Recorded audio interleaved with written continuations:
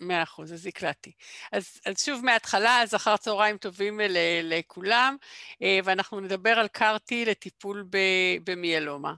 אה, אז אפשר בעצם אה, לחשוב על, אה, על מיאלומה, או למעשה באופן דומה על כל מחלה ממאירה, בתור איזשהו כישלון של מערכת החיסון, כי אתם יודעים שמערכת החיסון שלנו, מעבר לתפקיד שלה להילחם בפולשים זרים מסוג של חיידקים ווירוסים, יש לה גם תפקיד לעזור לגוף שלנו להתגבר על שינויים ממאירים, ואנחנו יודעים ששינויים ממאירים כנראה קורים אה, אה, אצל אה, הרבה מאוד אנשים, ובכל זאת לא מתפתחים לכדי ממש מחלה, כי זה בזכות מערכת החיסון שלנו שיודעת לזהות תאים שיצאו לדרך רעה ולחסל אותם בעודם קטנים. אז אפשר לחשוב על זה שאם מתפתחת מחלה ממאירה כמו מיאלומה, בעצם זה איזשהו מקום שמערכת החיסון שלנו נכשלה, ובכל זאת התאים האלה הצליחו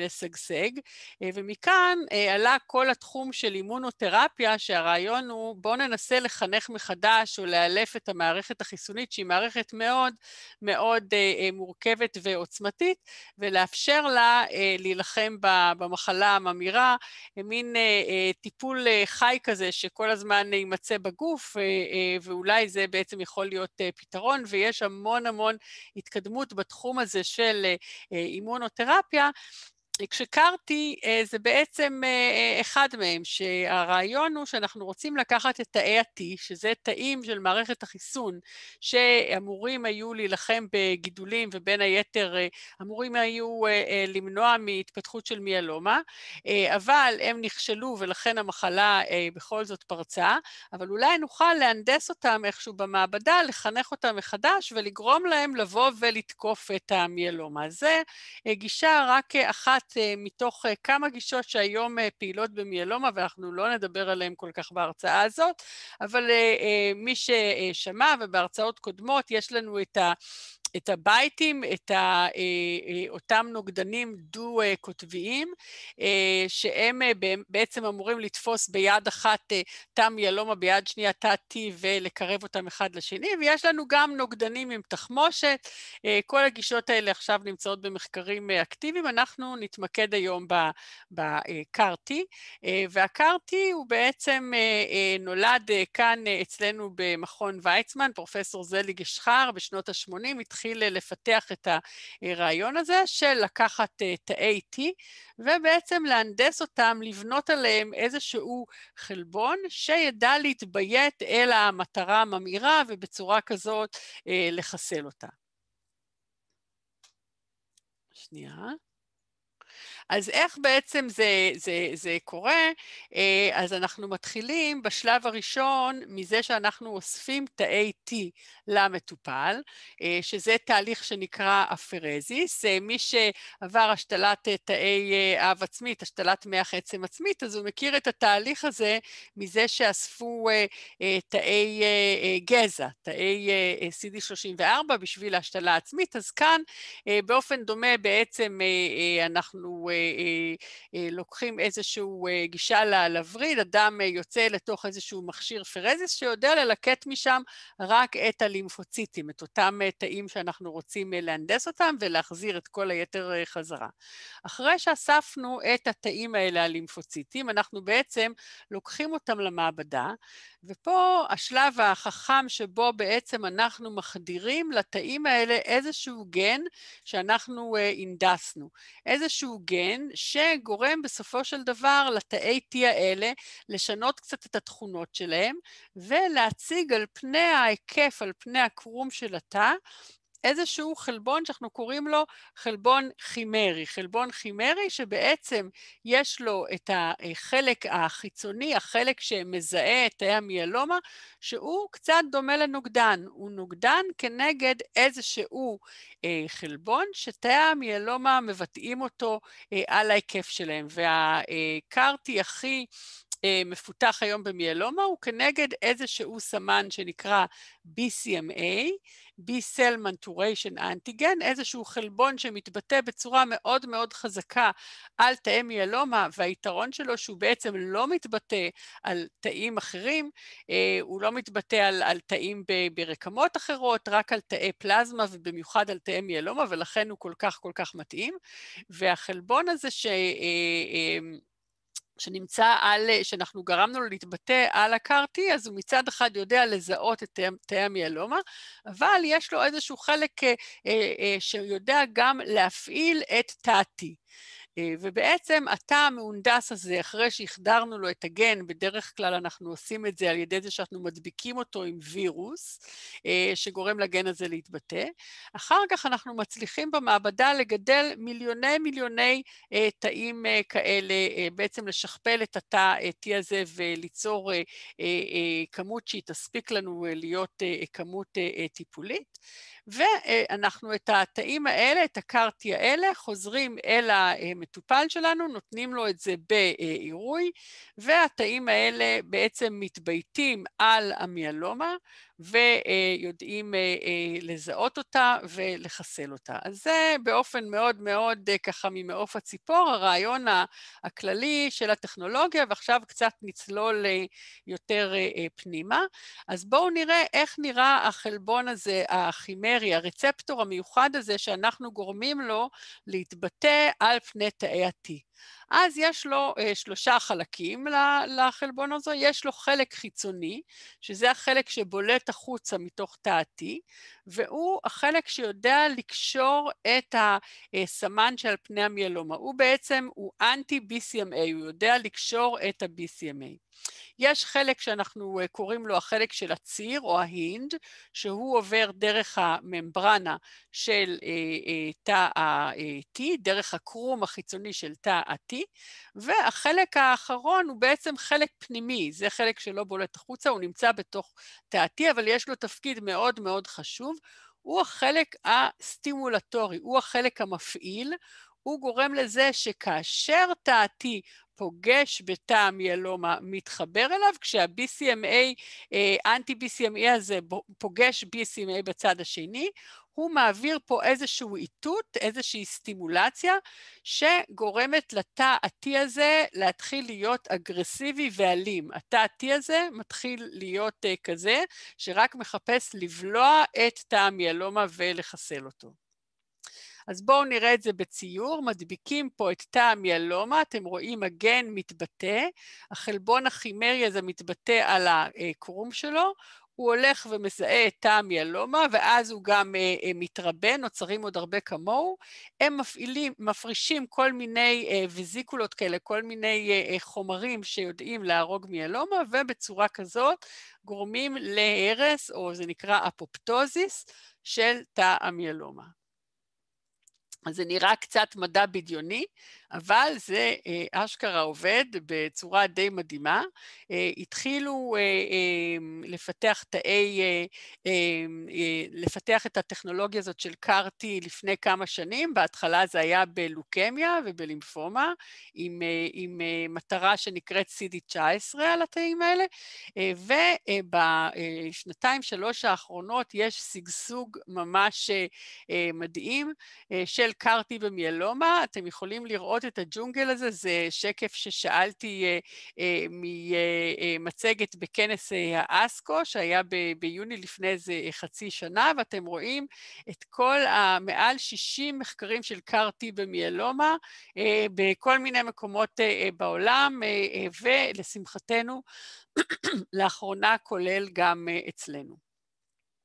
אז עכשיו אה, שהבנו את הרעיון הכללי, אני רוצה לספר לכם על אה, תוצאות של כמה מהמחקרים האחרונים והמבטיחים של CAR-T ומיאלומה, אה, ואחרי זה החלק השני של הפגישה שלנו היום, אז אנחנו הזמנו מטופל, הוא אמנם לא מטופל שחולה במיאלומה, הוא, המחלה שלו היא לימפומה, אבל הרעיון הכללי של ה-CAR-T הוא אותו רעיון, ומנחם קני הסכים לבוא ולשתף את החוויה שלו כמטופל ולספר לכם איך זה נראה לעבור טיפול בקארטי.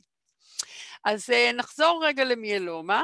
אה, ואני רוצה אה, בהתחלה לשתף אתכם עם תוצאות של מחקר שנקרא קארטיטיוד אחד, אה, וזה מחקר עם קארטי שנקרא סילטסל. אתם יודעים שכל תרופה או טכנולוגיה חדשה שכבר יש לה שם, זה כבר סימן מאוד רציני, שאומר שהטכנולוגיה הזאת היא בדרך להפוך להיות באמת תרופה אמיתית והיא הולכת להיות מוגשת. לרשויות הרגולטוריות, FDA אה, ומשרדי הבריאות השונים, להיות אה, אה, מאושרת.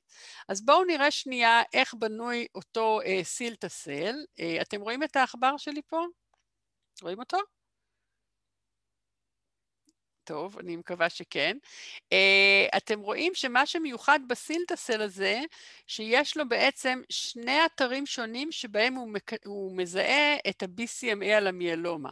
אה, הוא מזהה, זה נקרא אפיטופים, הוא מזהה שני מקומות שונים בחלבון של ה-BCMA אה, שאליהם הוא נקשר, אז זה החלק המשתנה אה, של ה, של ה, שהוא דמוי נוגדן.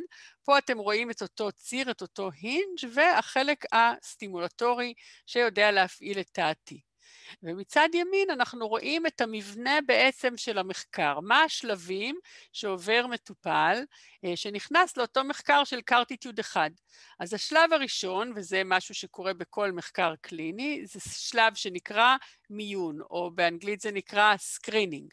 ובשלב הזה אה, בעצם אנחנו בודקים את ההתאמה של המטופל לקריטריונים שה, שהפרוטוקול קבע. אתם יודעים שכל מחקר קליני יש פרוטוקול שמסדיר בדיוק אה, איך הוא יעשה, בכדי שהדברים ישמרו גם על הבטיחות וגם על, ה, על, ה, על, ה, אה, אה, על המבנה המדעי הנכון של הפרוטוקול, כדי שנוכל להסיק ממנו אה, נתונים, וכמובן שמחקרים עם מוצרים חדשים, אז בתחילת הדרך החולים שייכללו שם יהיו חולים עם מחלה מאוד מתקדמת, שלמעשה אין לנו אלטרנטיבות אחרות, אין לנו תרופות אחרות מוכחות ורשומות שאפשר לתת להם, כי אנחנו לא ניתן למטופלים איזשהו טיפול מאוד ניסיוני, אם יש לנו משהו אחר שמוכח מבחינה אתית, מוסרית, זה לא משהו שעושים.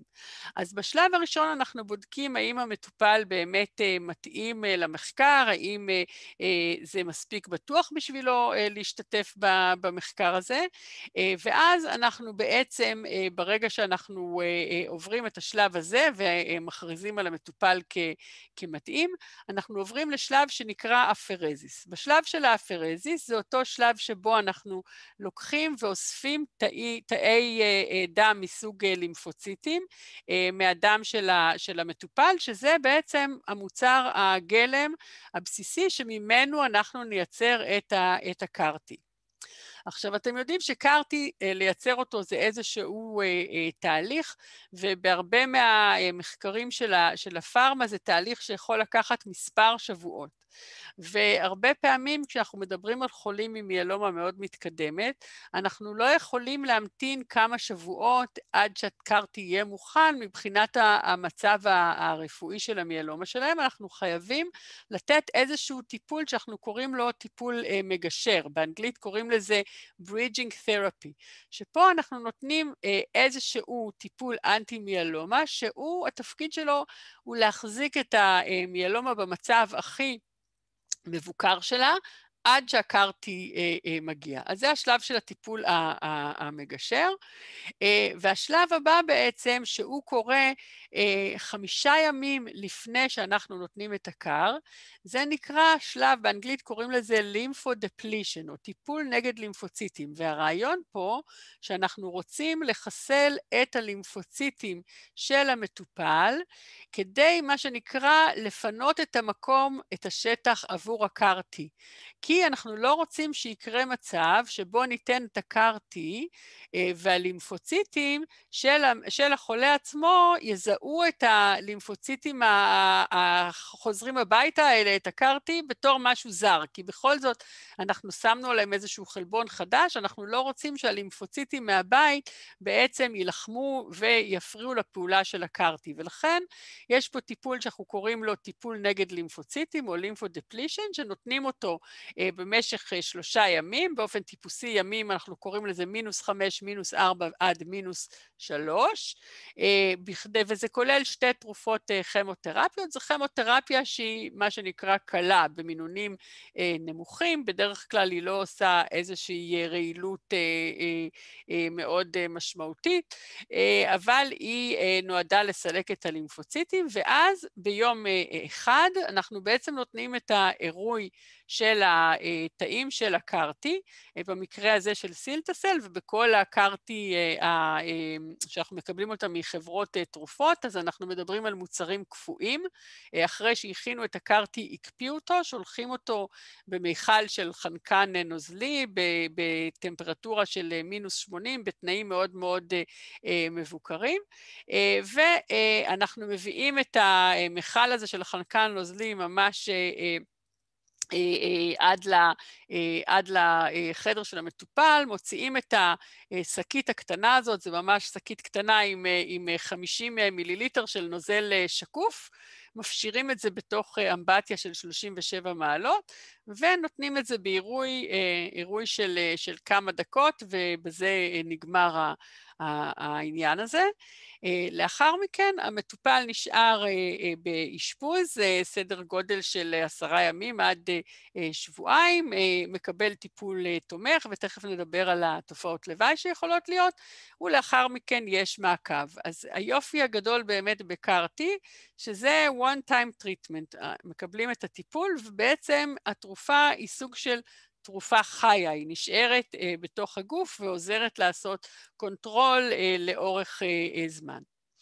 אז בואו נראה את התוצאות של CARTITUDE 1, והתוצאות האלה התפרסמו ממש לאחרונה במחקר, בכנס ה ASH 2020 בדצמבר, והם הציגו נתונים מ-97 חולי מיאלומה, בממוצע זה היה משהו כמו שש שנים מהאבחנה. אה, שימו לב, החולים האלה הם חולים, מה שנקרא, עם הרבה מאוד טיפול אה, אה, קודם. זה נקרא, באנגלית זה נקרא heavily pre-treated, קיבלו הרבה טיפול קודם, שישה קווים. רובם הגדול היו עמידים לשלוש קבוצות, גם למעכבי פרוטוזום, כמו ולקד למשל, גם לאימידים, כמו רבלימיד למשל, גם לאנטי-CD38, כמו דארה, וחלקם היו אפילו עמידים לחמש תרופות, וכמעט כולם היו עמידים לקו האחרון שהם קיבלו. ומה התוצאות? אתם רואים שהשיעור של התגובה, ותגובה זה אומר לפחות 50 אחוז ירידה במסה של המחלה, הוא 96.9 אה, אחוז. זאת אומרת, באמת אה, אה, מספר ממש דמיוני בחולים כאלה שקיבלו, שבעצם נכשלו כבר על שישה קווי טיפול. 94 מתוך 97 מהמטופלים בעצם הגיבו לטיפול, ואתם רואים שהתגובות היו מאוד מאוד עמוקות. מעל 90 אחוז מהחולים, אנחנו רואים VGPR, Very Good Partial Response, זאת אומרת ש-90 אחוז מהמסה של המחלה בעצם הסתלקה. בדיקה, אבל מה שעוד אה, מעודד במחקר הזה של הקרטיטיוד, שאחרי שנה שלמה של מעקב, 76% מהמטופלים האלה שמרו על התגובה העמוקה שלהם, שזה באמת נתון אה, אה, שהוא יותר טוב מהנתונים הקודמים שאנחנו אה, ראינו, ובמטופלים שהם אחרי כל כך הרבה קווי טיפול עם מחלה יחסית אלימה, תוצאה כזאת של 76 אחוז ששומרים את התגובה אחרי שנה היא תוצאה ממש מעודדת. ובואו נדבר קצת על הבטיחות של, של קארטי. אז אנחנו מדברים פה על כמה סוגים של, של תופעות לוואי, מה שנקרא תסמונת שחרור ציטוקינים, תכף נדבר על זה, ויש גם תופעות נוירולוגיות. מה שחשוב לציין, שרוב תופעות הלוואי במחקר הזה של הקארטיטיוד, ובכלל בקארטי ומיאלומה, היו בדרגה קלה. דרגה 1-2 זה בדרך כלל תופעות לוואי שאנחנו מצליחים אה, להשתלט עליהן באמצעים פשוטים והם אה, חולפים ולא לא משאירים אה, נזק. אז בואו נדבר אה, בכמה רגעים על התופעות אה, אה, לוואי. אז יש לנו קודם כל מה שנקרא אה, CRS, או תסמונת שחרור ציטוקינים, שזה משהו שמתאים בכלל לטיפולים אימונולוגיים, והכוונה היא שכשיש לנו תא קרטי שנלחם במיאלומה, עפים ניצוצות הצידה. יש בעצם איזשהו שפעול של מערכת החיסון, יש הרבה מאוד תגובה דלקתית וכל מיני חומרים משרי דלקת שנקראים ציטוקינים משתחררים לזרם הדם. אז מה יכול לקרות? במקרה הכי קל, אנחנו מדברים על חום, זה יכול להיות אפילו חום אה, גבוה. אה, במקרים אה, שיש מצב יותר משמעותי, יכולים להיות גם קוצר נשימה, יכולות להיות, יכולים להיות שינויים בלחץ הדם, ירידה בלחץ הדם, ובמקרים יותר חמורים יכולות להיות פגיעות במערכות נוספות, ואפילו עד כדי מצב של, של כשל מערכות וטיפול נמרץ, אבל שוב אני אומרת, אומרת, בקארטי, במיאלומה, אה, השיעור של התופעות שהן אה, יותר משמעותיות וקשות הוא אה, כחמישה אחוז, רוב התופעות של ה-CRS שקורות בערך בחצי מהחולים הן קלות יותר. תופעות נוירולוגיות, גם הן אה, אה, מאפיינות אה, קרטי, לא רק במיאלומה אלא בכלל, ושוב ברוב המקרים מדובר בתופעות שהן קלות וחולפות, לפעמים איזה שהן הפרעות בזיכרון, אבל במקרים נדירים תיתכנה תופעות יותר קשות. כמובן יש לנו דרך להתמודד עם כל התופעות האלה, יש לנו תרופות אנטי דלקת, יש תרופה שקוראים לה טוסיליזומב, שאנחנו נותנים אותה, אנחנו נותנים גם סטרואידים, אה, והיום אה, זו תורה שלמה של איך לדעת להתנהל עם ה-CRS הזה, ואנחנו אה, ברוב המקרים, כמו שאמרתי, מצליחים להשתלט על זה. זיהומים ייתכנו כמובן, כמו בכל הטיפולים ההמטולוגיים, וגם ירידות בספירות הדם, אבל בסך הכל זה תופעות לוואי שאנחנו מכירים אותן מטיפולים המטולוגיים. פה אתם רואים את ה, מה שנקרא waterfall, שזה פשוט אה, אה, כל פעם אה, מרגש לראות את זה מחדש. כל קו פה מראה את השיעור של הירידה בחלבון של המיאלומה, זה מהתוצאות הראשונות של הקרטיטיוד שהראו אותם, ואתם רואים פשוט ש... כל החולים מגיבים מאוד מאוד עמוק, וזה, אה, וזה ממש אה, מרגש. יש לנו עוד קארטי שנמצא אה, למעשה בשלב עוד יותר מתקדם של פיתוח, זה הקארטי שהתחיל מבלובר, עבר לסלג'ין ועכשיו הוא שייך לחברה שנקראת BMS, וזה הקארטי הראשון למיאלומה שהולך כנראה לקבל אישור של ה-FDA, ממש הוא, בדי, הוא כבר נמצא שם, התיק נמצא שם בדיונים, והצוות הצפי הוא שבחודשים הקרובים אה, יהיה אישור, שזה אומר שזה יהיה תרופה שאפשר יהיה פשוט אה, אה, לקנות אותה, לפחות בארצות הברית, ואנחנו יודעים שיש מאמצים כבירים לאפשר נגישות לתרופה הזאת גם בארץ, שאנחנו נהיה מאותן מדינות מורשות שבהן אפשר יהיה גם לקבל את הקארטי בארץ. מי יודע, אולי בשנה הבאה זה יהיה המלחמה שלנו לסל הבריאות, זה לא, זה, זה לא אה, אה, דמיוני. פה אפשר לראות את, ה, את המבנה.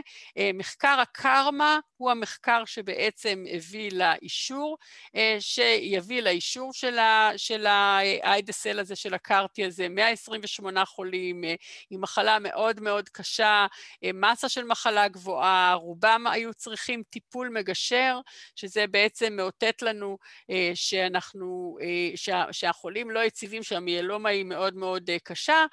פה משך התגובה החציוני היה קצת פחות, הוא היה בערך 11 חודש בחולים שקיבלו את המינון המלא, 80 אחוז תגובה, אבל גם, גם פה מדובר בפריצת דרך מאוד מאוד משמעותית כשאנחנו חושבים על, על זה שלמטופלים האלה בעצם לא היו לנו שום אופציות טובות אחרות, וזה שיעורי תגובה שהם די דמיוניים. דמיוניים. מפאת הזמן אנחנו נדלג, זה רק המבנה של המחקר, דיברנו עליו גם קודם. היו, ישנם מחקרים נוספים עכשיו עם איידסל, יש קרמה 2, קרמה 3, קרמה 4. תשימו לב שכמו כל טיפול אחר במיאלומה, גם עם CAR-T, בהתחלה אנחנו נותנים את זה לחולים עם מחלה מאוד מאוד מתקדמת, ועם הזמן אנחנו מביאים את זה במחקרים הקליניים לחולים בשלבים יותר מוקדמים של מחלתם. אנחנו למשל היום בארץ, גם בתל השומר וגם באיכילוב, יש לנו מחקר שנקרא CARTITUDE 4, שאנחנו עושים רנדומיזציה, זה חולים אחרי עד שלושה קווי טיפול, או שהם מקבלים קומבינציה של דארה, או שהם מקבלים קארטי, יש, יש הגרלה. יש לנו אפילו מחקר שעכשיו אה, מאפשר לנו לקחת חולים עם הבחנה חדשה של אה, מיאלומה, כל עוד יש להם מדדי אה, סיכון, ובקרוב יתחיל אה, מחקר גדול עם חולים עם הבחנה אה, אה, חדשה. אז אה, אה, איך בכל זאת אנחנו יכולים להתגבר על המגבלות של הקארטי, כי דיברנו על זה שאומנם אחוזי התגובה מאוד מאוד גבוהים, אבל התגובה היא בכל זאת לא ריפוי. ברוב המקרים אנחנו יודעים שגם עם קארטי המחלה כן יש לה נטייה לחזור, ורק לשתף אתכם בכמה מהדברים שמנסים לעשות בשביל לטפל בבעיה הזאת, אז למשל, בעיה שהתאים לא מחזיקים מספיק זמן, אנחנו לא יודעים אם זה בגלל שמערכת החיסון בכל זאת מחסלת אותם, אם הם מותשים, מאבדים מכוחם, ופה מנסים לייצר קארטי יותר טובים, למשל קארטי שהחלבון שלהם, החלבון הכימרי, ייראה ממש כמו הנוגדן האנושי, ואז אולי מערכת החיסון לא תחסל אותם. אולי אנחנו נאסוף את הלימפוציטים בתחילת ההבחנה של המיאלומה, ואז בעצם הם יהיו לימפוציטים שלא ראו טיפולים, שיהיו יותר חזקים ויוכלו להחזיק מעמד יותר. יש כל מיני שיטות שמנסים לבחור תאי T שהם יותר תאי T מסוג זיכרון, מה שנקרא memory T-cells, שזה יכול לגרום לתאים שיחזיקו יותר זמן, שיטות שמנסים להגביר את השפעול של תאי ה-T, מנסים להקטין את החשיפה שלהם למערכת החיסון. כל השיטות האלה, על כל אחד מהם יש כמה וכמה מחקרים וקבוצות מחקר שכרגע רצים וכבר יש תוצאות של חלק מהם, מפאת קוצר הזמן אני לא אראה לכם היום, אבל אני בטוחה שאנחנו רק בתחילת הדרך, ובשנים הקרובות אנחנו נראה עוד ועוד התקדמות ופריצת דרך. יש ניסיון להכין קארטי אוניברסלי או אלוגני, זאת אומרת שבמקום שניקח את התאי לימפוציטים מהמטופל עצמו, אנחנו ניקח איזשהו תורם צד ג', כמו שעושים בהשתלה מתורם זר, ונעשה להם איזשהו שינוי שיאפשר להם להזריק אותם כקארטי, ולהימנע מזה שמערכת החיסון של החולה תתקוף אותם, או שהם יתקפו תאים שלא צריך, וגם זה כבר נמצא בפיתוח עם תוצאות ראשוניות שהן מבטיחות. יש ניסיון, למשל, לעשות קארטי כפול, זאת אומרת שבמקום שהוא יהיה רק כנגד מטרה אחת, כמו BCMA, הוא ילך לשתי מטרות במקביל, ואז אולי המיאלומה לא תוכל להתחמק.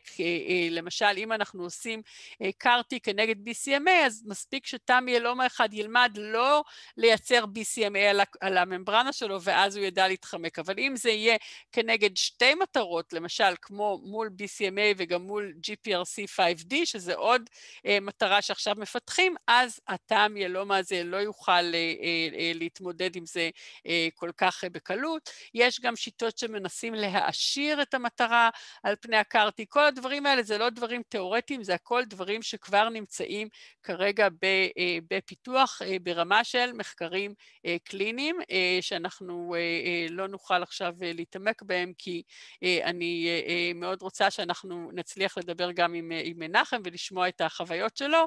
אז רק לסיים עם השקף הזה, שמראה לכם כמה מטרות חדשות יש על פני המיאלומה שמנסים לייצר מולם קארטי וגם בייטים, שתבינו את רוחב היריעה ואת הפוטנציאל לטיפולים הנוספים. אז נסיים בשיקולים לבחור אימונותרפיה, אז דיברנו על קארטי היום, על שיעורי תגובה מאוד מאוד גבוהים, גם בחולים כבדים שראו הרבה מאוד טיפולים. זה טיפול שהוא חד פעמי ואחר כך יש חופש מטיפול, שזה בדקו ומצאו שמבחינת איכות החיים של המטופלים אחרי קרדי ומיאלומה, הם הפכו להיות כמו איכות חיים של אנשים לא חולים, כמו, כמו בריאים. איכות חיים מאוד מאוד טובה, לא צריך לקבל תרופות, מרגישים מצוין. החסרונות זה לא מתאים לטיפול מאוד דחוף, כי צריך לייצר את התא, את הקארטי הזה, זה לוקח כמה שבועות. הלוגיסטיקה כמובן מאוד מורכבת, מאוד מאוד יקרה, יש פה שאלות כבדות של איך להנגיש את זה בעצם למטופלים. אה, יש צורך בטיפול אה, מגשר הרבה פעמים בזמן הזה שמייצרים את הקארטי, אה, יש ירידה בספירות, לפעמים זה ממושך, וכמובן טיפול מאוד מאוד יקר. הזכרתי בתחילת הדברים את הבית, שיש לו יתרונות שהוא יותר מהיר, הוא מוצר מדף, אולי הוא קצת פחות יעיל, וכנראה שאנחנו נצטרך ללמוד למי מתאים קארטי, למי מתאים אה, אה, בית, אולי אנחנו ניתן אה, פעם את זה ופעם את זה לחולים, ויש לנו גם את הנוגדנים המחומשים, כמו הבלנטמה, לא נרחיב כרגע, שגם נותן לנו עוד אופציה אימונולוגית לטפל. אז לפני שאנחנו ניגש למנחם, אני, אני כל פעם שאני חושבת על, על קארטי, ואנחנו טיפלנו פה בכמה וכמה אה, אה, מטופלים.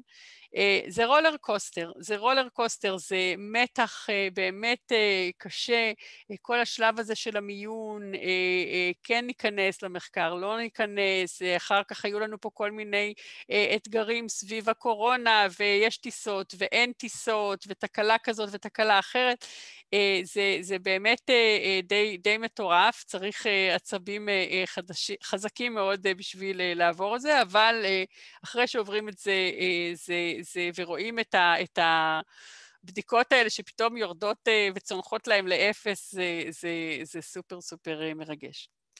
אז uh, עד כאן, ואני רוצה עכשיו לפטפט קצת עם, עם מנחם כהני, שהוא מטופל שעבר טיפול קרטי ללימפומה.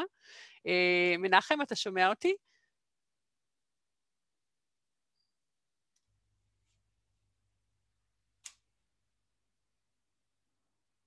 מנחם?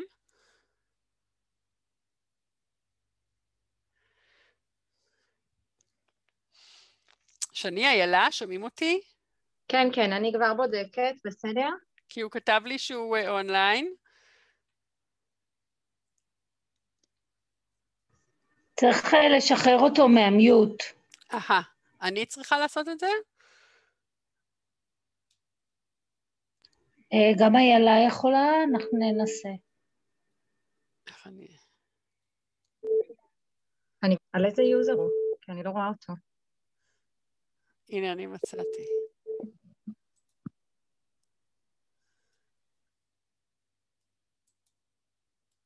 לי, לי אין זכות uh, לעשות uh, unmute, אני מצאתי אותו, הוא ב-M, מנחם.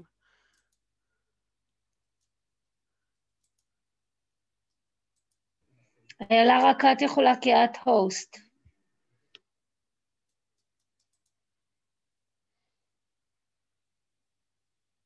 איילה?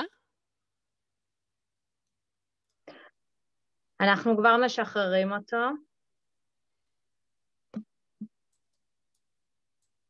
כן. הצלחנו?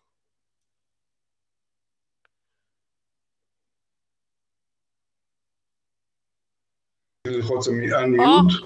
הנה. יופי. כן, שומעים אותך מצוין. יופי, זה קודם לא יכולתי לעשות, אז הנה, עכשיו אני יכול. שלום מנחם, מה שלומך? שלום, שלום, שלום דוקטור כהן, שלום לכולם. אז אנחנו uh, ממש מחכים לשמוע uh, את, ה, את החוויות שלך.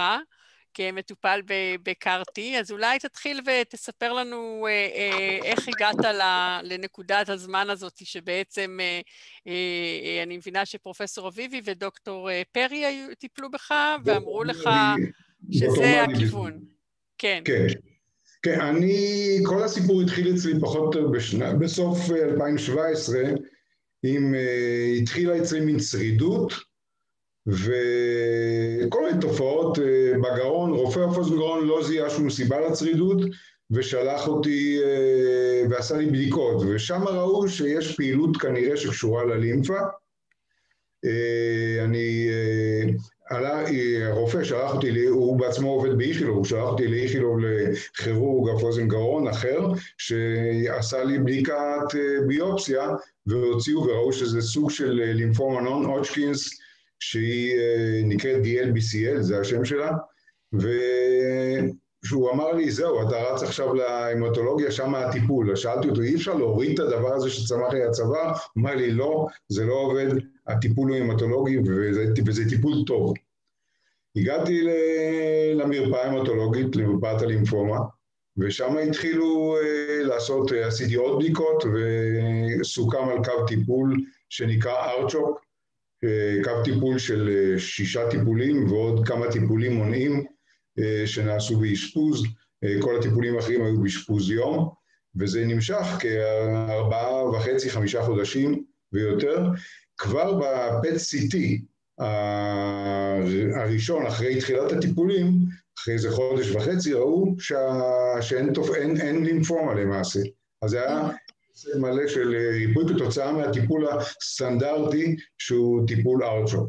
וחזרתי... Complete response, מה שנקרא. כן, כן. חזרתי בכיף לחיים, היינו בחוץ לארץ. בשלושה חודשים אחרי זה, לצערי, בסביבות ספטמבר, גיליתי משהו קטן, דמוי אפונה, חצי אפונה אה, על הצוואר, וחזרתי למרפאה, אה, ואחרי בדיקות וכל זה בדקו, מצאו שאכן זאת הישנות של, ה, של הטיפול. אני הייתי מהסיטואציות די שפוף, זה, זה, זאת האמת. הייתה לי תחושה, הנה, נתתי רייס, הרבצתי מבצע לא פשוט של טיפולים, ויצאתי מהסיפור הזה, ופתאום שלושה חודשים אחרי שהייתה לי, אה, שהיה לי משהו שהיה נראה לי כמו ריפוי מלא, פתאום אה, חזרה. אה, חזרתי בעצם להמטולוג שטיפל בי במרפאה, דוקטור מרדי, זה עדיין לא דוקטור פרי, והוא, שאלתי אותו אחרי שהוא הציג לי רעיונות, הוא אמר, יש כל מיני רעיונות, אמרתי לו, יש לי עוד שאלה לגבי עוד רעיון, איך המחלה הזאת נראית ללא טיפול. והוא די אה, היה מזועזע מהשאלה שלי, ואמר לי, אין, המחלה הזאת היא אגרסיבית וללא טיפול זה רע מאוד, ואני לא רוצה לפרט פה, וזה יכול להיות רע מאוד וגם לא ארוך מדי. אה, אך בעקבות התגובה שלי הביא לי גם את פרופסור אביבי, ושניהם הסבירו לי. וההסבר דיבר אליי. אני הבנתי, אם, אם קודם הרגשתי שהגוף שלי בוגד בי, זה פחות או יותר הייתה התחושה שלי, פתאום אחרי שעשיתי מאמץ ופתאום הגוף שלי בכל זאת בוגד בי, פתאום הרגשתי שהגוף לא בוגד, יש חלקים בגוף שלי שעובדים יפה ואפשר להשתמש בהם ויש פתרונות. הקרתי, כמו שהוצג לי, אז זה היה תאי T שלי שנקראים T אה, Natural Killers, אה, שם קצת אה, בומבסי, אבל זה באמת תאים שמסוגלים להרוג גם סרטן, רק הם צריכים, חסר להם את המודיעין, הם צריכים לדעת לזהות אותו. ו... והחלטתי בעקבות כל השינוי פאזה הזאת שהרופאים אה, יצרו אצלי, החלטתי להסכים לטיפול. הטיפול אז אה, לא היה בסל בריאות, והוא ניתן לי, והוא הוצע לי כחלק מהמחקר שהיה בטיפול בנון אוצ'קינס לימפומה, וקיבלתי את ה... חתמתי על הטפסים והכל, וגם לקחו, הייתי צריך לעבור תהליך של אה, פרזיס, של מיצוי תאי T שלי, שזה פחות או יותר ארבע, ארבע שעות, כארבע שעות במכונה דמוית דיאליזה כזאת, שבהם התאים זורמים מהדם, מהגוף שלי, ותאי ה-T מוכנסים לתוך שקית שישבה לי מעל הראש, ואחרי זה היה, וזה נמשך כארבע שעות. אה, כשזה נגמר, אה, חיכו בלדרים אה, בחדר הסמוך לקחת, זה היה ממש מבצע, כמו מבצע צבאי, לקחו זה החבר'ה... מבצע, זה מבצע. תאר לעצמך לעשות את זה גם עם קורונה. אנחנו עשינו את זה עכשיו עם קורונה. כן תהיה טיסה, לא תהיה טיסה, ייתנו לבלדר להיכנס, לא זה היה פשוט... זה. לוגיסטיקה לא. לוגיסטיקה מטורפת, כן. לקחו את התאים שלי, אבל אני התבדחתי עם עצמי ועם המשפחה שלי, עם הילדות, לוקחים את התאים שלי לקורס לוחמה זהירה. כי זה בעצם מה שנותנים להם, לדעת להתמודד עם הסרטן. ולקחו את התאים את השקית הזאת, בדחילו ורחימו עם אה, קופסה עם צידנית, וטסו אה, דרך אירופה בהתחלה, ואחר כך אה, לקליפורניה בארצות הברית, אז מי שביצע את, הט- מי שייצר את הטיפולים זו הייתה חברת קייט פארמה. וחיכינו שלושה שבועות, בינתיים קיבלתי אה, בשורה שכמועמד לניסוי הייתי יכול להתקבל אה, ב, לפי רנדומיזציה או לקבוצת הטיפול או לקבוצת הביקורת, שזה היה, לא זה היה פתרון פחות טוב. ואמרה לי פרופסור אביבי, שאם אני אתקבל לקבוצת הביקורת, אני אעבור טיפול בהשתלת מח עצם עצמית, ואחרי זה, אם זה לא יצליח, אז אני אתקבל כבר בסל בריאות. וזהו, למזלי... איך הייתה ההרגשה הזאת לחכות לתשובה? אה, הרגשה של מריטת עצבים. כי יש כן. הבדל, הבנתי, בין שתי החלופות. אה, למזלי, לא הייתי צריך לעבור השתלת מח עצם, ועברתי, והגעתי לזרוע של הקרטי, אה, וזה התחיל ב... אה, אושפזתי שוב בבית החולים, אה, גם הפרזיס היה אשפוז של כארבעה ימים, אושפזתי בבית החולים ושם טופלתי בטיפול מכין שהוא טיפול כימותרפי. הסבירו לי שהמטרה שלו לא להרוג את הסרטן הפעם, אלא אה, לפנות פשוט את הזירה לתאי הקרטי, לתת להם אה, להתרבות ולעשות את העבודה שלהם. כן, הלימפודפלישן, זה הפלודרבין. ציטוקסן שאנחנו משתמשים בו בכל הקארטי, גם בלימפומה. גם במיאלומה, אותו דבר. כן. אז uh, קיבלתי זה, היה שלושה ימים, ואחרי זה הייתה הפסקה לגוף להתאושש, והגיע היום הגדול, אני זוכר, הייתי uh, בחדר, ונכנסו לחדר שפעת רופאים מהמחלקה, כן, אה, דוקטור רם רון, שהיום הוא כבר פרופסור, הוא ניהל את העסק הזה ביד רמה, והיו המיקרוביולוגיות, ו- והיו תשעה אנשים בחדר, אני חושב. הייתי חצי אדום כי קיבלתי חומרים אה, נגד... אה, נגד אלרגיה, כן, נכון? כן. ולמרות זאת החזקתי את זה בכוח כדי לראות את התהליך, הייתי מסוקרן לגמרי, לראות מה הולך לקרות. ובאיזשהו שלב, אחרי שהוציאו את זה מהמכונה, וכנראה חיממו את זה קצת, זה, הוא עבר... הפשירו, מפשירים את זה, זה מגיע. קפוא, כן. שמים את זה באמבטיה כזאת, כמו של תינוקות, כן. ראיתי מין שקית קטנה צהובה, בניגוד לשקיות של הכימותרפיה, הייתה שקית קטנה, מאוד ו- קטנה, כן, כזאתי. כן. כן, תלויה מעל הראש, וזה מתחיל לעבוד. ואחרי חצי שעה פחות או יותר נגמר העירוי הזה, דוקטור, הייתי כבר באמת קצת מטושטש, ודוקטור רם רון התכופף מאליי, אמר לי, זהו, את הטיפול שלך אתה גמרת. ככה הוא אמר. הטיפול. כן. ובניגוד לארצ'וק וכל המסלולים הפרוטוקולים הארוכים, הוא אמר לי, "את- את הטיפול שלך גמרת. אה, אז המשכתי להיות בבית חולים למעקב, כי תופעות לוואי היו, ובהחלט היו. אה, הרגשתי מה זה סערת ציטוקינים, התחיל כן. לעלות חום, כן, היה חום, הגעתי ל-39.5. אוקיי. היה עוד משהו או שרק חום? היה כאב ראש, מאוד ברור. היה, כן.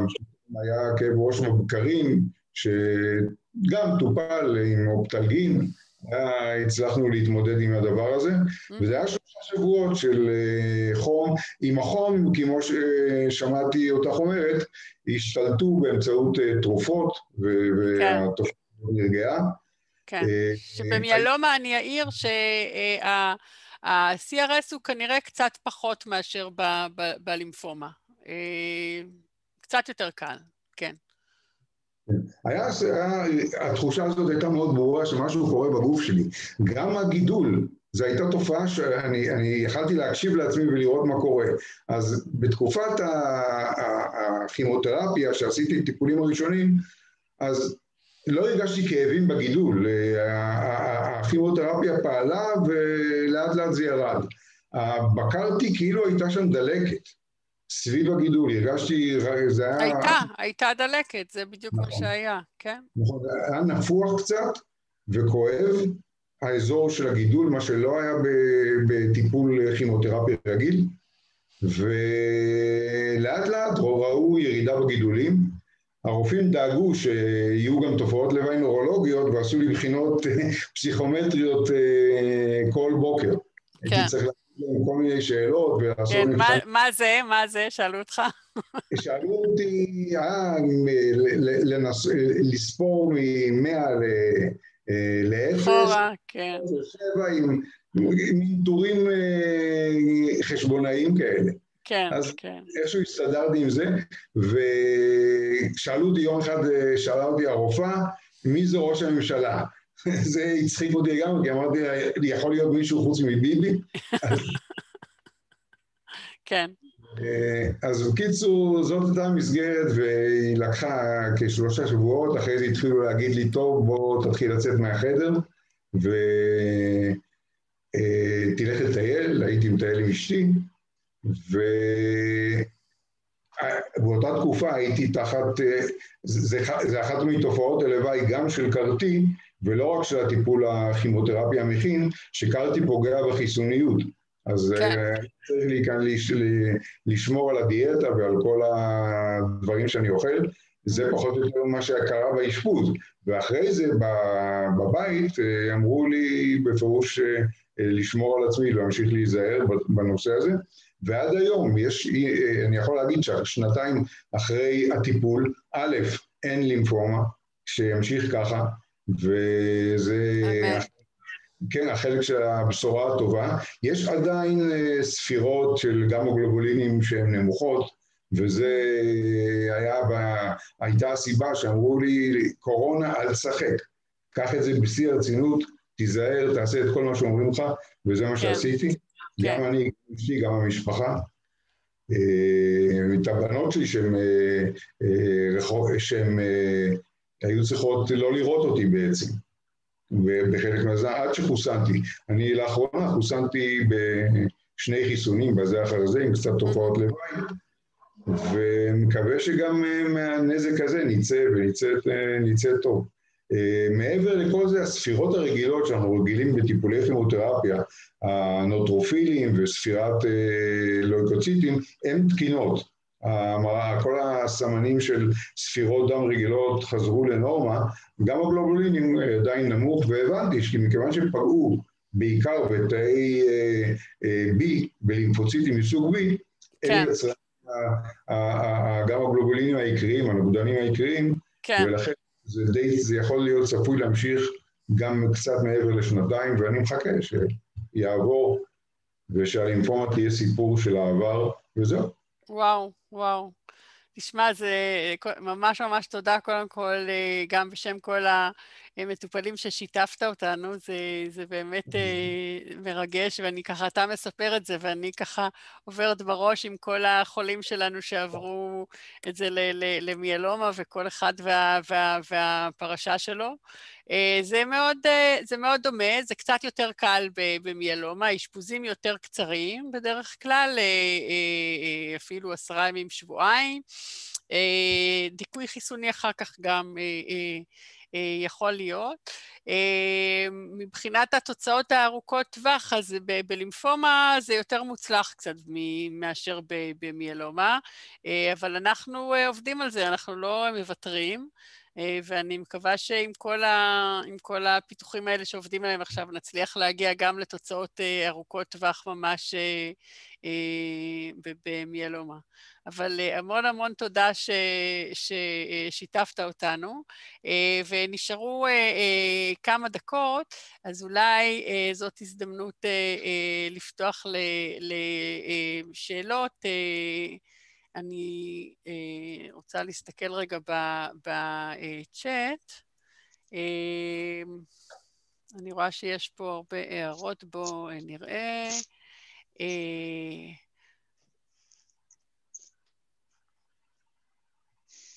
פה מישהו שאל אם יש קשר בין הקארטי לבין הטיפול בקורונה, אז לא. כמה זמן לוקח להכין את התאים של הקארטי? אז זה תלוי, בכל קארטי זה יכול להיות קצת שונה, החל זה יכול להיות, זה גם תלוי אם הקארטי הזה הוא, הוא קפוא או שהוא מוצר, מה שנקרא טרי, שברוב המחקרים של חברות פארמה אנחנו מדברים על, על מוצרים קפואים, זה בדרך כלל לוקח uh, סדר גודל של שלושה עד, uh, עד ארבעה uh, שבועות.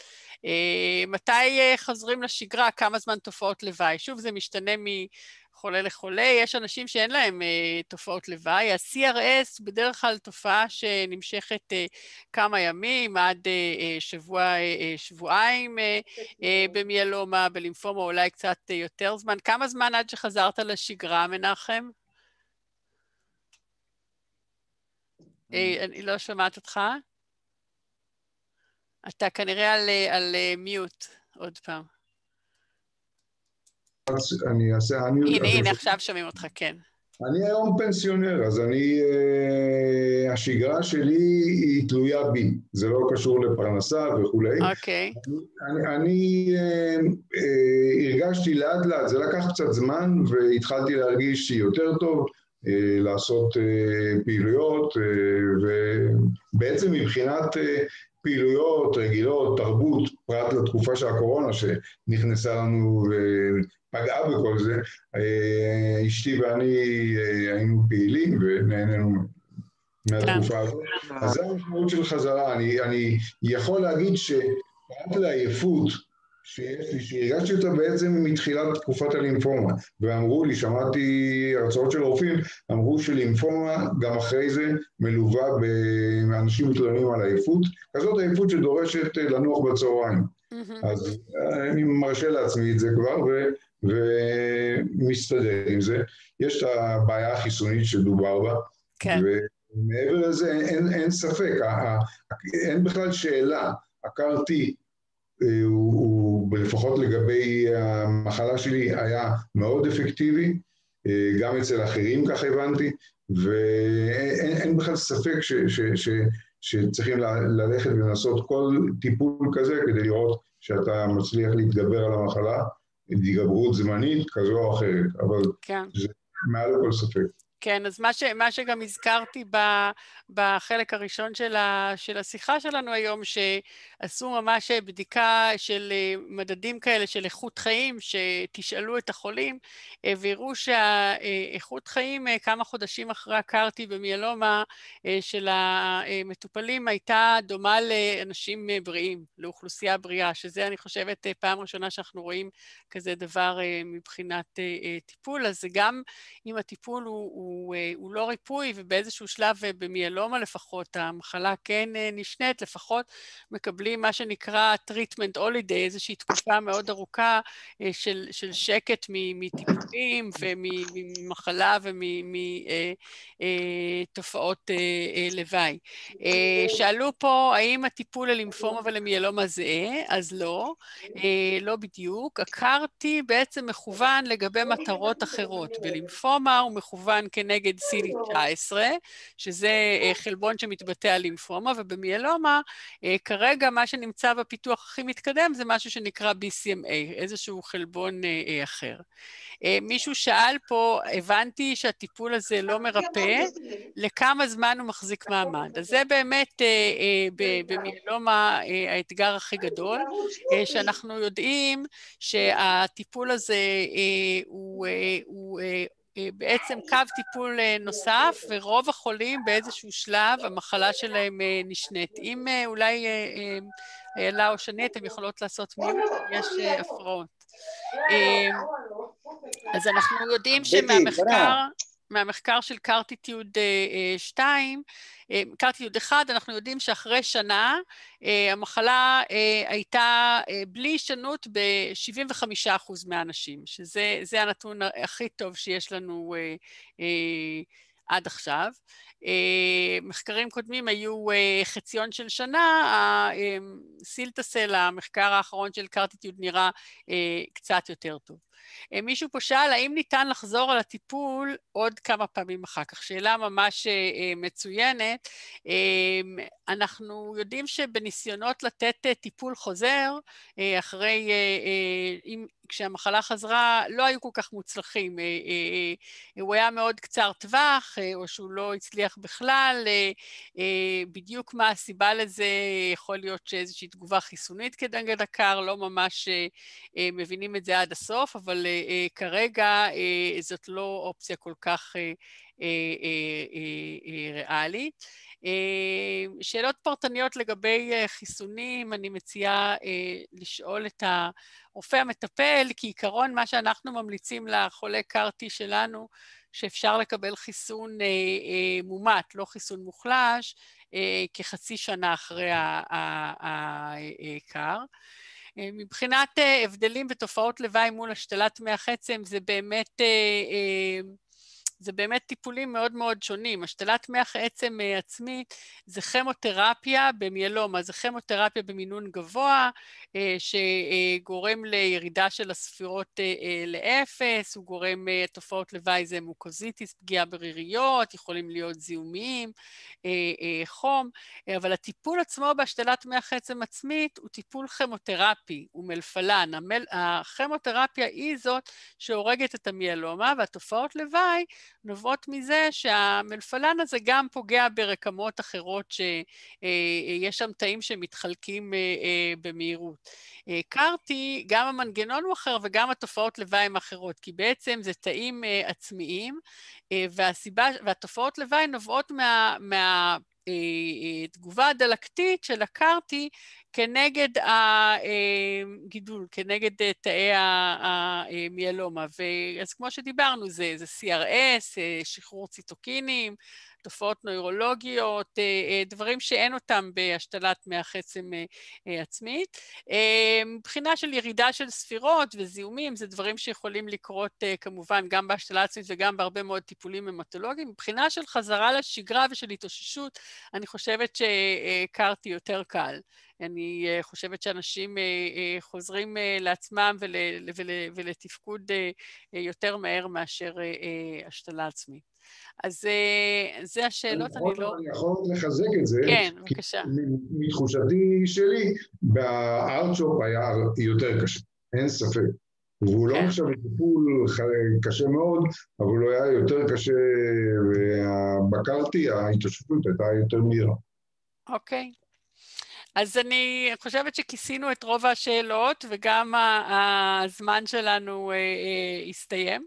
אז שוב, אני רוצה להודות לכולם על, ה, על, ה, על ההקשבה, וזה תמיד כיף לשתף בבשורות טובות. אני חושבת שבמיאלומה יש לנו באמת הרבה מאוד תקווה וכיוון מאוד מאוד מבטיח. אנחנו רק בהתחלה של המהפכה הזאת, יש הרבה מאוד פיתוחים שישפרו את הקארטי הזה ואת ה... את ה אני מקווה, את המשך של ה...